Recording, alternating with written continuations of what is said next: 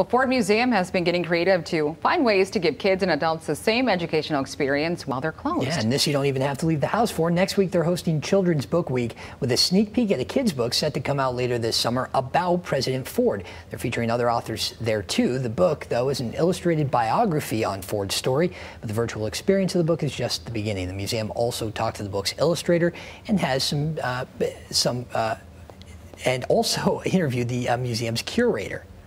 We also have some interviews with Mr. Holloway to give kids an idea of like how does a museum come together even and what is the job of a curator. And we also have some special story time. So presidential themed stories that were read in the Oval Office and in the cabinet room inside the museum. And those virtual tours start this coming Monday. It can be found all next week on the museum's Facebook page.